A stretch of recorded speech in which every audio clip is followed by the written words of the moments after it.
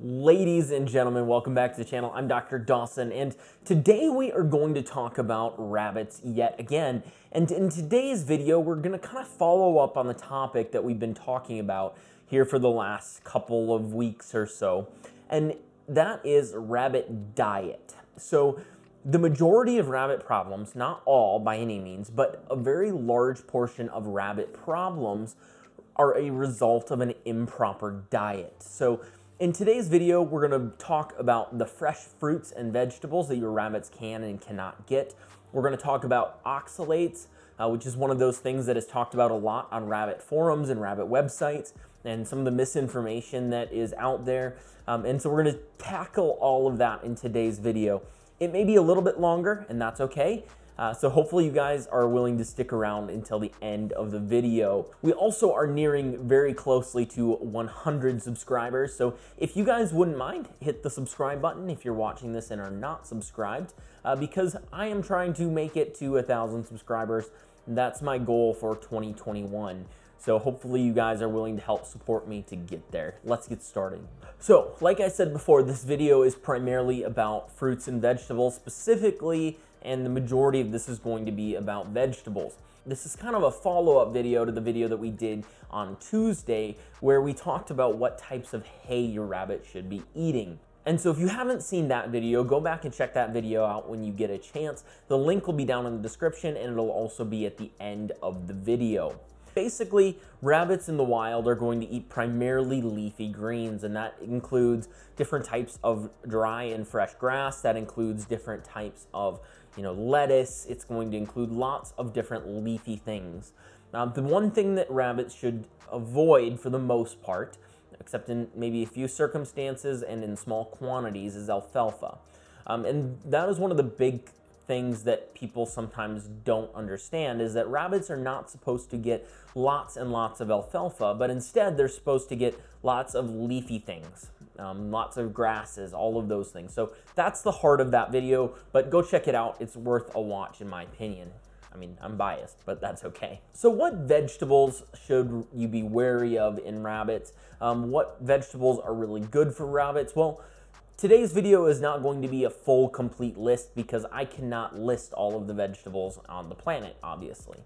But what we're gonna do is we're gonna go through kind of three groups of vegetables. One that is high in oxalates, which we'll talk about in just a second. One that is a normal leafy vegetable that it you know they can have just about as much of as they want. And then we're going to talk a little bit about some non-leafy greens and then we're going to talk about fruit. So i guess four not three. I can count some days. Some days. Well that's awkward. So here's the part of the video that if you just want the short answer you can leave after this. So what is the rule of thumb for if a vegetable, a leafy green, I'm not talking about broccoli, I'm not talking about carrots, I'm talking about leafy greens, different types of lettuce, etc. What is safe for rabbits? The rule of thumb is if it's safe for humans, it's probably safe for rabbits. But here are some of those vegetables that I use. Here are some that I'm would be a little more leery of and let's talk quickly about oxalates. So oxalates are one of those things that are sometimes spoken of in hushed tones uh, at the dinner table. Not really, uh, except at my dinner table for some reason. But oxalates are one of those things that we talk about of what is it?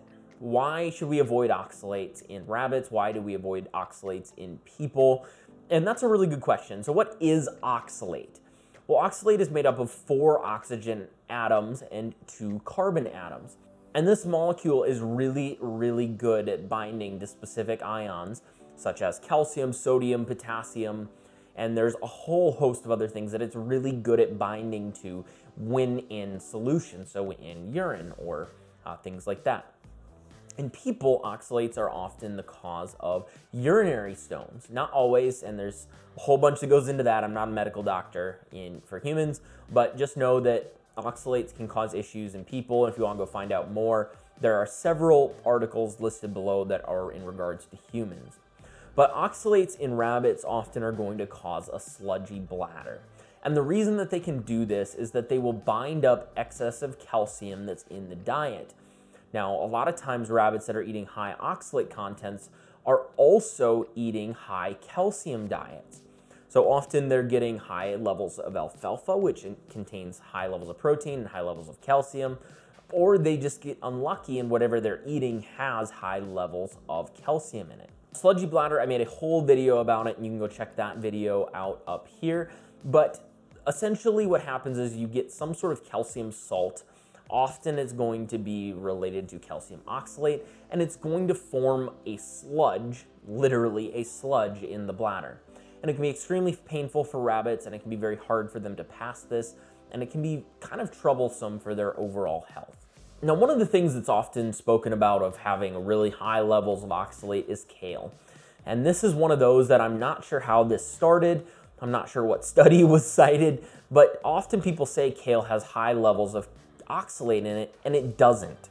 Um, so I have two articles that are listed down below, the first two on the list, and they both are showing that oxalate content in kale is actually very low. So that is one of those pieces of misinformation that you'll probably find on some bunny websites, you'll find in some human articles, and it's just not true. So take that for what it is, go do your research if you're concerned but kale is not on the list of things that can't be given to rabbits in high quantities. So this first group of vegetables is actually going to be the group that is highest in oxalate content. Now, this shouldn't make up any more than about a third of your rabbit's diet. I'm not saying that your rabbit cannot have these types of vegetables. However, limiting their content to decrease the amount of oxalates that your rabbit is eating is probably a good idea these can still be really good and there's a lot of benefits to these really dark leafy greens, but in moderation. So make sure that when you guys are feeding these, and I do encourage you to feed some of these, just make sure it's in moderation and you're not feeding them for weeks on end with these high oxalate plants. So as a general rule of thumb, I recommend this being only about a third of your rabbit's fresh diet every day. Um, and these types of vegetables can include parsley and spinach, which are really good and very rich in vitamins and minerals, mustard greens, beet greens, Swiss chard, radish tops, um, and all of those types of vegetables can be really good. They're just higher in oxalate content, so be careful and don't overfeed them. So this next group of leafy greens is the group that you can basically feed as much as your rabbit can eat with the exception of obviously if your rabbit has not been on these types of vegetables in the past, don't just suddenly go from an all dry hay and pellet diet to all of a sudden now you're feeding them all wet food uh, because that can cause some GI problems. Um, you can get a lot of diarrhea, which can lead to gas formation, and because their GI tract just isn't used to that much water in their diet. But these are all really good. Arugula, which although it is a dark leafy green and contains a lot of those benefits, is also low in oxalate, so just keep that in mind. Carrot tops, cucumber leaves, kale, which I've already mentioned, mache, red or green lettuce, romaine is kind of the one that I tend to do the most of because I also feed a lot of romaine to my bearded dragon, fun fact. The other one is spring just like spring greens, um, usually like a mix. Turnip greens, dandelion greens, mint, basil, watercress, chicory, raspberry leaves, cilantro, bok choy, fennel, borage leaves, dill leaves, yu choy. There are literally endless amounts of fresh vegetables that are really, really good for your rabbit. Uh, these are just some of those. There are more, um, but this is a pretty complete list of things that your rabbit can really love. And especially adding things like mint or dill can really be a good experience for your bunny because not only is it flavorful, which is a flavor they maybe don't get all of the time, but it also is a healthy item in their diet.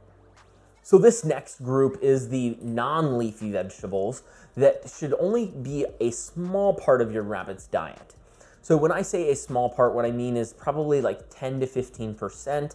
They are good, and they definitely can have some really, really good things in them, but often they're gonna be a lot lower in fiber than your rabbit's GI tract is designed for, and so you can basically overload them and cause diarrhea, um, or they can cause other GI problems along the line. So what types of these vegetables are good? Well, the classic one is obviously carrots. Carrots are the probably most well-known one. of these, and they're they are good, but only 15% of your rabbit's diet should be these type of vegetables. Other ones can be broccoli, and this is leaves, stems, anything along those lines. Edible flowers, so these can be roses, uh, pansies, hibiscus, and there's probably other ones as well. Celery, bell peppers, Chinese pea pods, so the one without the large peas. And this is just because the large peas contain a lot of carbohydrates that are easily digested um, and or they can cause gas when they're digested in their GI tract. Brussels sprouts, cabbage, these should all be a small amount. And one of the other risks of any of these vegetables is gas production. This doesn't go for the leafy greens, this is just these vegetables. Gas production can be very detrimental to your rabbit's health. It can end up leading to GI stasis um, because they can basically have gas, be uncomfortable, and then they stop eating, which makes their gut not move anymore, which can lead to more gas formation and make them eat even less. And so just being really careful with these, your rabbit can have them, but just don't overdo it. Don't just one day decide, oh, I'm gonna feed them five leaves of cabbage. That's probably not a good idea. But if you're including this with their other leafy greens and just including, you know, a small amount, it can be really good for them, uh, but just be careful with it. Fruits can be really good. They can be really high in antioxidants, vitamins, minerals, all of those really good things. But this is probably the one that I'm going to be the most strict about. Fruits should only be given as basically a treat, like one to 2% of your rabbit's diet, maybe a little bit more, up to like 5%. So, as far as it goes, you know, a strawberry a day is not going to hurt them. A couple pieces of pineapple is not going to hurt them. But if you start feeding lots and lots of these fruits, what you are going to cause is those carbohydrates to be broken down rapidly, causing diarrhea, GI upset, and GI stasis. So do not do this. And if you don't cause these things and your rabbit's really well acclimated to these fruits, you have a very high likelihood of causing them to become obese because they're just so high in sugar. And a rabbit's digestive tract is really good at taking out all that sugar and making it into fat. So these are good in small quantities, but very small quantities. Apple is a really good one and it can be any variety. Just make sure you don't have stem or seeds because they can be toxic. Cherries without the pits can be really good as well. Pears, peaches, plums, kiwi, papaya, mango, melons can all be really, really good things. Just make sure if you do anything with a pit, make sure you take the pit out. If you do anything with a skin, for the most part, like pineapples or kiwis, make sure you take the skin off. Melons, you do not have to take the rind off. Melons can be really good, and the rind can be a good source of water for a rabbit. Uh, cucumbers also fall in this category, um, almost of fruits, because even though they're not high in nutrients, they are very high in water. And being high in water, they can cause diarrhea and some of the same problems. So cucumbers are fine in small, very small amounts, but don't overdo it on cucumbers either. A few other fruits that are in this kind of group are going to include bananas without the peel. And I don't know about you guys, but my rabbits absolutely love banana. Mango and nectarines. Um, so basically most fruits are going to be safe for your rabbit in small quantities.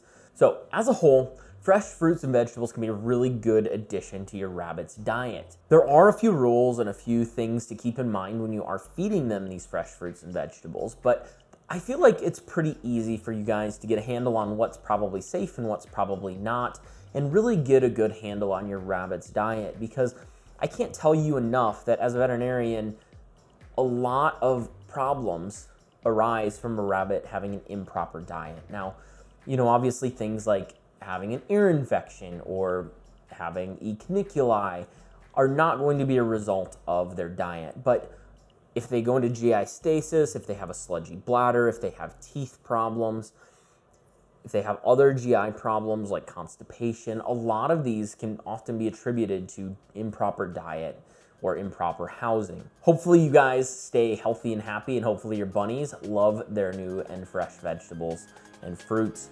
So, hopefully, you guys can spoil them in a good way, and hopefully, you guys enjoyed this video. If you did, make sure you guys leave a like. It really helps me to know what content is being helpful and which content you guys maybe don't care about. So if you liked the video, if you think it was helpful, make sure you leave a like. And if you enjoy my type of content, make sure you guys subscribe. I've got a couple really interesting videos coming out here in the very near future. It'll be some pretty cool stories from the vet clinic. So have a fantastic rest of your day, guys. We'll see you in the next video.